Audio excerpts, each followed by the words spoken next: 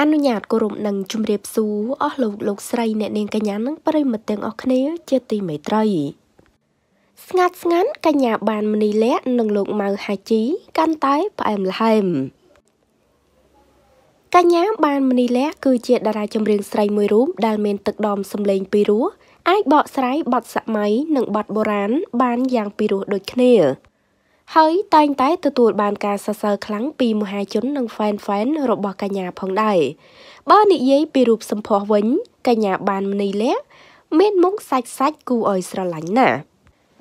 ហើយពេលថ្មីថ្មីនេះគេសង្កេតឃើញតារាចម្រៀងរូបស្រស់បានមនីលក្ខនិងលោកម៉ៅហាជី តែងតែបង្ហាញរូបភាពគៀកកៅនិងស្និទ្ធស្នាលជាខ្លាំងរហូតមានការផ្គូផ្គងថា អ្នកទាំងពីរស័ក្តិសមជាគូស្នេហ៍ខ្លាំងណាស់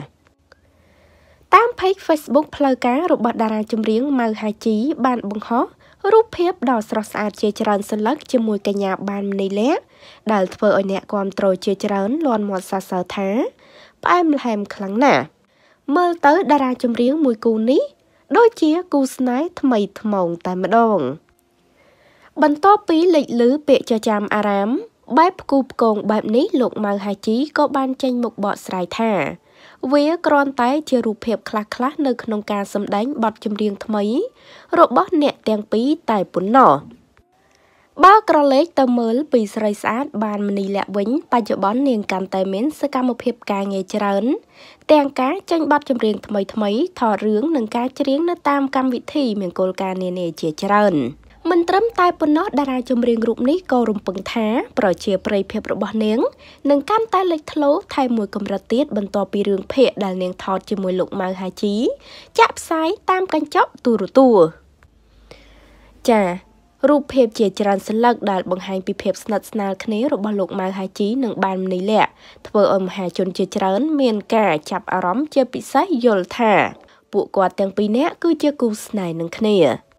ប៉ុន្តែរូបភាពអស់ទាំងនេះត្រូវបានសម័យខ្លួនអះអាងថាគ្រាន់តែជារូបភាពមួយចំនួន ដែលពួកគាត់បានថតក្នុងសកម្មភាពសម្ដែង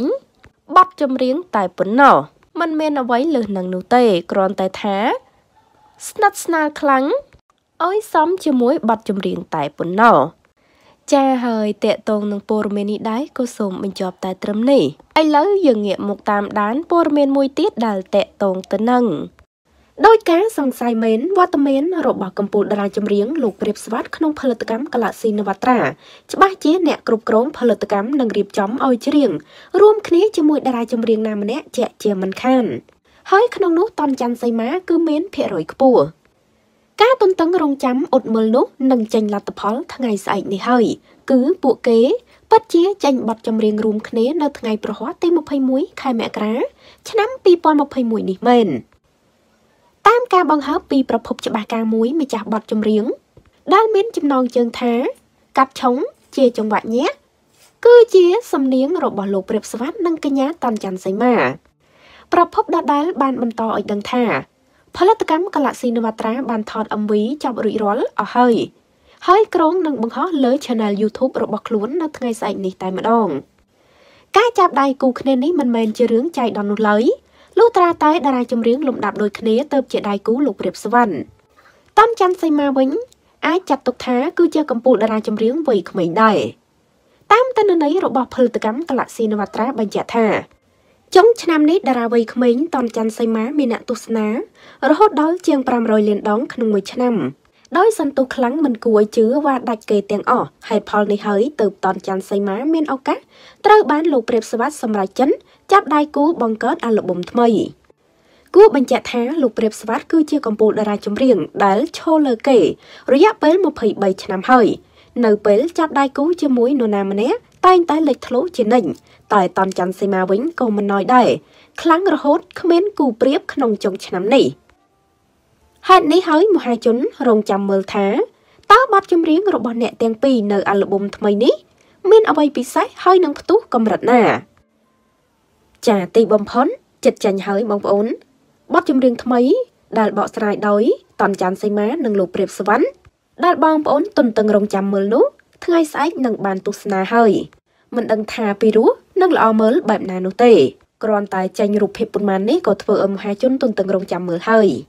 គួរបញ្ជាក់ផងដែរថាមហាជនជាច្រើនមានការសង្ស័យថាថ្ងៃណាមួយតនច័ន្ទសីមានឹងមានឱកាសច្រៀងឆ្លើយឆ្លើយជាមួយលោកព្រាបសវណ្ណដោយសារតែតនច័ន្ទសីមាគឺជាតារាចម្រៀងកំពូលមួយរូបនៅក្នុងផលិតកម្ម Galaxy Navatra ចំណែកឯលោកព្រាបសវណ្ណគឺជាកំពូលតារាចម្រៀងប្រចាំប្រទេសដែលអ្នកណាក៏ស្គាល់ពេលដែលចូលផលិតកម្ម Galaxy Navatra ច្បាស់ជានឹងអាចចាប់ដៃគូជាមួយនឹងតនច័ន្ទសីមាហើយពេលនេះដូចអ្វីដែលបងប្អូនបានគិតមែន គឺពួកគាត់បានប៉ះគ្នាហើយក្នុងបទចម្រៀងមួយបទមានចំណងជើងថាកាត់ឆុងយើងមានតែរងចាំមើលទាំងអស់គ្នាថាតើបទចម្រៀងមួយបទនេះពីរោះនឹងល្អមើលបែបណា ដោយនេះគឺជាបទទី1ហើយដែលពួកគាត់ចាប់ដៃគ្នានោះ